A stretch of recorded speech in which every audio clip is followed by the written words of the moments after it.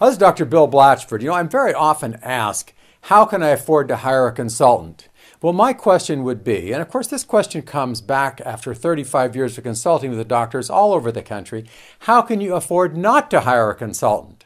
You see, I think you're asking the wrong question. If you look at consulting as an expense, you shouldn't even consider a consultant. But if you look at hiring a consultant, whether it be Blatchford Solutions or any other consultant, look at it as an investment.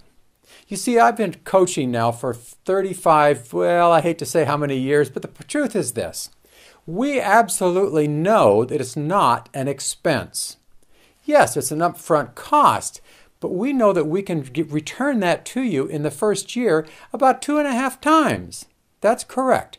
Our average increase in net over the last several years in the first 12 months of our coaching program is $150,000 of net.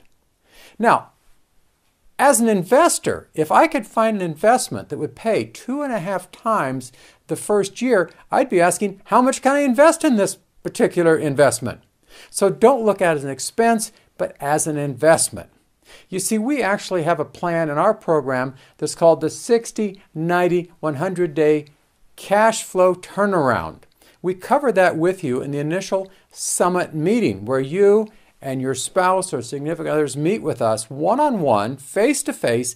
We go through your practice, we go through what you're trying to accomplish, and we actually work out a plan for you that we can show you that initial cost back to you within the first 120 days of your program.